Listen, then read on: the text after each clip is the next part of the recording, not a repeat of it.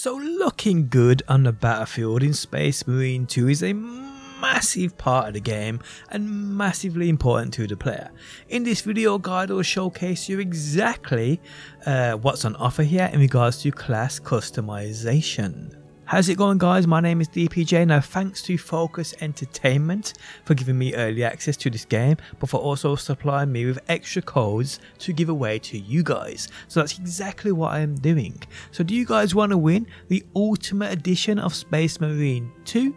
Well, it's as simple as this. Drop a like on this video, make sure you are subbed and leave me a comment down below. The more I see you active on my Space Marine videos, the more of a chance you have of winning. I'll pick winners from the comments section and announce them just before the game releases on the 9th of September. So good luck everybody. Okay, so with the six playable classes of Tactical Assault, Vanguard, Bulwark, Sniper and Heavy, there is plenty of customization to be doing here and then there's weapons too. So yes, there's a lot to discuss and to showcase. Okay, so within the armoring hall, uh, at the bottom of the screen, you'll see here edit armor menu. Within here guys, you can firstly see the armor sets. Now these armor sets are unlocked via you doing objectives and from what I've seen it's all about achieving victories within operations and eternal war. This game's PvP mode. Operations, by the way, is a PvE mode. It's a free player co-op mode, so don't get that twisted. That is not Eternal War. Eternal War is player versus player. Now, if we tab right, we have the Astartes chapters. I believe that's pronounced. It's Latin. I'm absolutely terrible at Latin, guys. Come some slack. Uh, what these are and I ain't really up to date with Warhammer by any means and please correct me in that comment section if I do screw something up. I know this is a massive part of many people's lives and I don't mean to insult anybody but let's just say these ain't just different colours. They represent chapters which are basically different factions or legions or armies. I mean you name it, that's kind of what, what these are. Now each represented here are by a different name from Dark Angels to Raven Guard to the Iron Hands, all represented by a different colour and badge. Now for the most part, to unlock these chapters and what comes with them, you need to earn requisition in game. This is also done by completing operations. The higher the difficulty you play on, the more you can earn. And we'll talk about this uh, requisition in-game currency towards the end of the video. Now in regards to these chapters, there are four tabs here you can learn more about each chapter uh, that you may want to represent, but I will leave you to do your own research when it comes to you playing the game. What I will say is, whatever you do indeed unlock, that is then there for you to use in every way you want because there is a custom armor set section which consists of four slots per class. And within this option guys you can literally create your own look using different parts from different armor sets that you've unlocked using different colors from the different chapters uh, that you've unlocked as well as their logos that represent them too. So you can literally create your very own space marine you can also change individual parts of the armor with whatever color you have available to you so the possibilities here are pretty much endless in regards to how you can indeed go into that battlefield looking it's wild guys now what I will say is, uh, so players don't get confused when it comes to doing this, the chapters tab is where you apply colours and that logo you want to represent. These colours and logos will then apply to your armour sets tab. So yes, loads you can do in regards to customizing your class. And don't forget guys, there are six classes here. It's going to take a lot of grinding to be able to unlock all these colors. Now actually that's one thing I do not know. If you unlock one particular chapter on one of your classes, if it unlocks on the other classes too. That's something I cannot confirm as of right now because when it comes to unlocking these classes you need that requisition which is also used to unlock more or less everything else in this game. But yeah, We'll talk more about that, like I said, towards the end of the video. So what about weapons?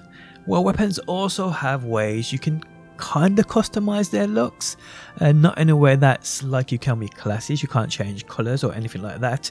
It's just a certain appearance you can unlock, but they are set in stone.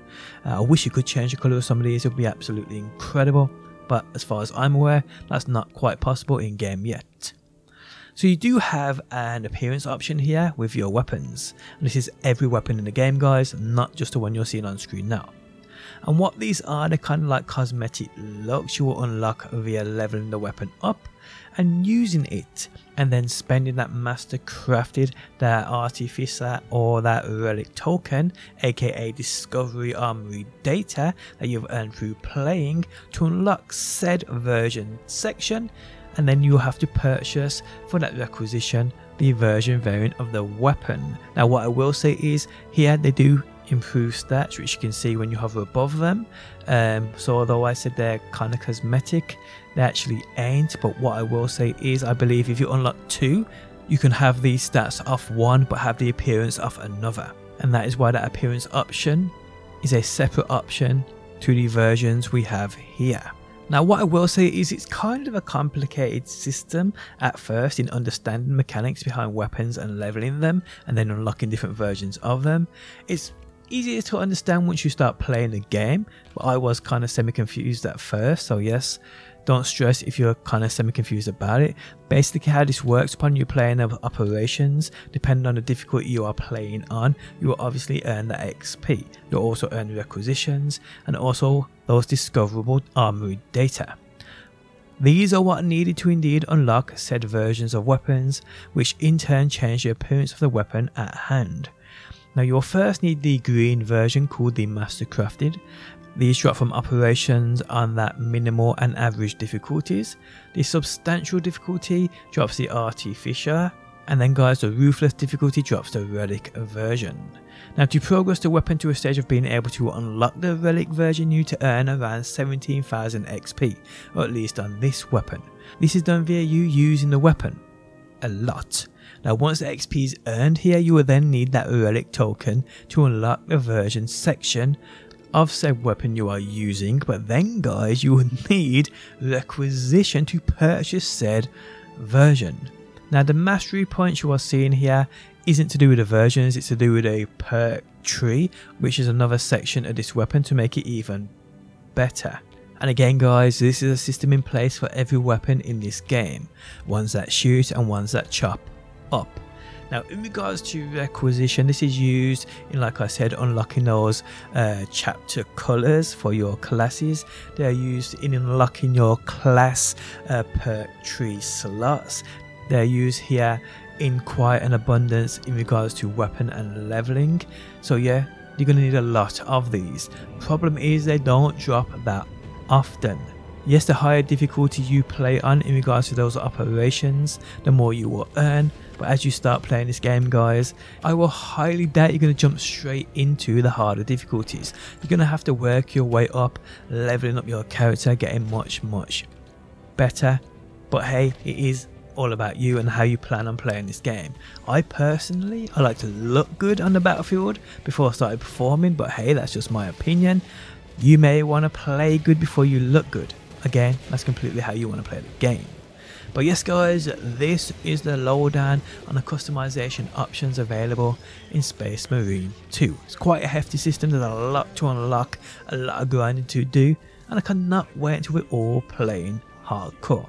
Guys, if you enjoyed the video, leaving a like really helps out. If you like what you see and want to see more, be sure to subscribe.